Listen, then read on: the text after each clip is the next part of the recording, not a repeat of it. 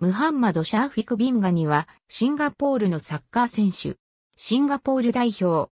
現在、S リーグのホーガンユナイテッド FC に所属している。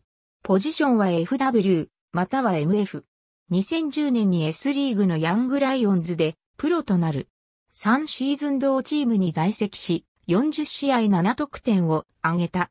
2013年にはシンガポールライオンズ12へ移籍。マレーシアスーパーリーグでは13試合5得点の活躍を指導チームのリーグ制覇に貢献した。しかし、2013年8月24日のマレーシアカップサラワク FA 戦でムアメル・サリバシッチに対して平手打ちをしたことにより監督のバラダラジュ、スンドラモールシーから非難された。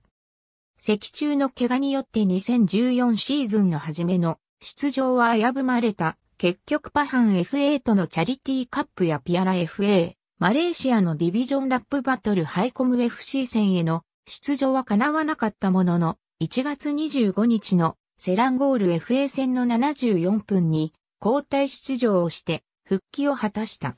2015年に再びヤングライオンズに移籍した。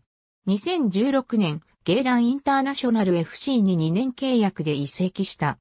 しかし、シーズン前の練習中に膝の全十字靭帯を断裂する大怪我を負い、6ヶ月間離脱した。カンボジア代表との親善試合で復帰を果たし、得点も挙げた。2018年、ホーガンユナイテッド FC に移籍した。U-23 代表として2013年の東南アジア競技大会に出場し、銅メダルを獲得した。また、2015年の東南アジア競技大会の際にも、チームの司令塔の一人として、事前合宿に呼ばれ、その後出場メンバー入りを果たした。A 代表としては2012年8月15日の香港代表との親善試合で初出場を果たした。彼はシンガポール体育学校を2008年に卒業している。代表での得点一覧 U-23 代表での得点一覧ありがとうございます。